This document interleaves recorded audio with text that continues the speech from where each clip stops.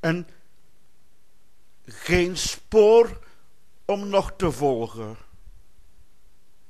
Ik weet niet hoe het nog meer.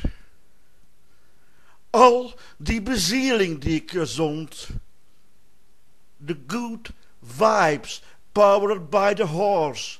En al die flarde ziel.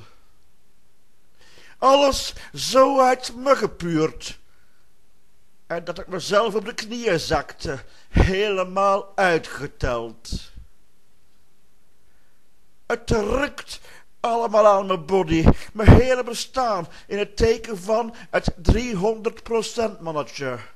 En nog is het nooit genoeg. Het rukt en altijd meer. Het rukt. Ik ben. Geduld, Luc. Geduld, zei ze. Geduld. Mijn moeder is altijd een goed mens geweest. Geduld, Luc, en alles op zijn tijd. Helaas is geduld nooit mijn sterkste troef geweest en zal het dat allicht nooit zijn. Ik weet niet hoe het nog meer en voor hoe lang.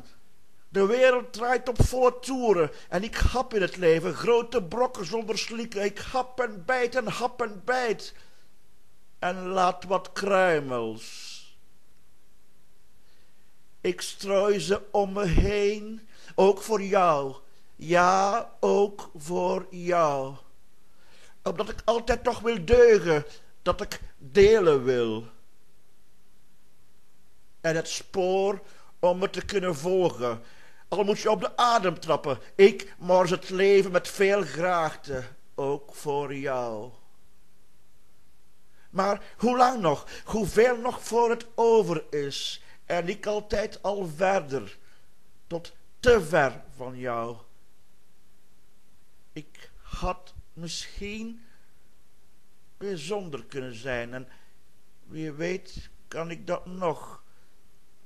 Of uh, ben ik toch slechts het mannetje van de trucjes.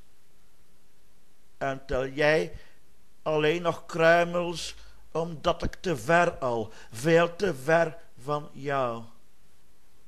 En geen spoor om nog te volgen.